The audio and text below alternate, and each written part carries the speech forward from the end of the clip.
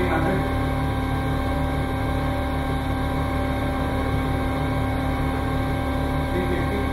think it's propagating, the crack.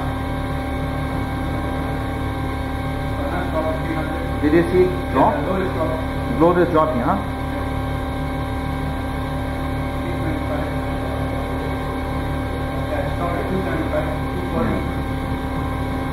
Okay, you get large crack.